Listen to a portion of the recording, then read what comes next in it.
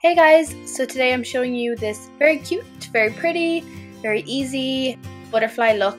Great for last minute if you decide to go somewhere or even for your kid. The endless possibilities. okay, so I started off with a face of makeup already done except for my eyes, just, you know, makes it look a little bit nicer. Then I am just using a lip pencil for this. So it's just like a plummy purple color, a pink, anyone will do. And you just want to start mapping out your butterfly. So I can't really give too much guidance except for follow maybe a reference picture or this and you can get the right shape. You guys know a butterfly shape, right? So it's like a bit more pointy up the top and a bit more round on the bottom wing.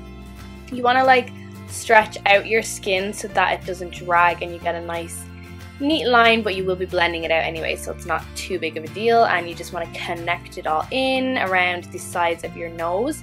And just trying to make sure they're even. They're never going to be fully even.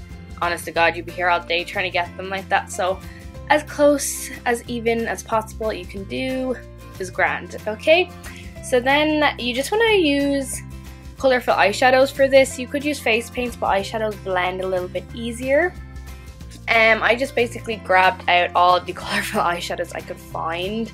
So the first one's here from Inglot and this is just like a nice kind of deep purple and I started with the top half of the wing and I just did the outline. And then I grabbed this kind of fuchsia pinky purple. This palette is like a really cheap palette it doesn't have a name but like I said any eyeshadows you have will do um, you don't even have to use these colors you can use whatever colors you want really. Um, but yeah just start blending that to the bottom half of the wing and just kind of blend it in with the top half of the purple so that you get that nice gradient effect and there's no harsh lines it's just nice and blended.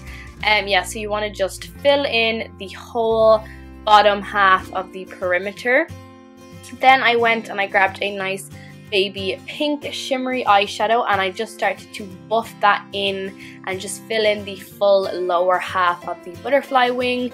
Um, as you can see I just blended it in nicely with the pink but then I went back in with the deeper kind of fuchsia pink just to really kind of get that nice gradient effect so it goes from darker to lighter in the middle um, and then I went to the top half and I grabbed this really nice fuchsia purpley colour from the palette I have and I just basically did the exact same thing. Once again, just kind of blending it into the pink will just make it look really nice and blended that way.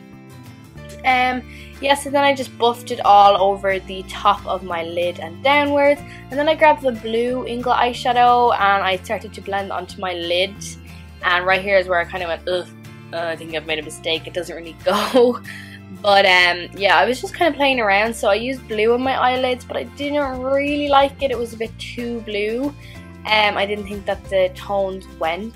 So what I did is I went back in with the first purple and I went over that blue and then actually created a really really nice violet color which I actually loved. It just kind of went so well with it. So yeah, just mixing colors, doing whatever with eyeshadows is fine. Just make sure it's all blended. So easy. Um, next are the antennas. I basically just got a light pink lip liner and just mapped out the shape. You always want to kind of map out your shape first in case you make a mistake. You can easily erase it. And then I went in with a darker uh, pink lip liner. You could also use purple or whatever and um, darkened them up. Then I moved on to lips. Um, if you're doing like pink and purple butterfly wings, you kind of want to do pink and purple lips. It makes sense, it ties it all together. So whatever color your wings are, probably do the same with your lips, but you know, that's just me. Um, yeah, and just kind of blended them in and went back in with the pink uh, lip liner to blend it into the purple lipstick so that it was kind of another ombre gradient look.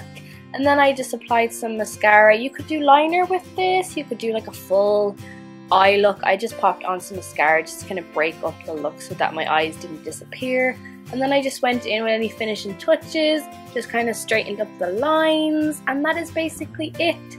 So easy, really pretty, girly, last minute idea is just so handy. And yeah, I hope you guys enjoyed this, and I'll see you very soon. Bye!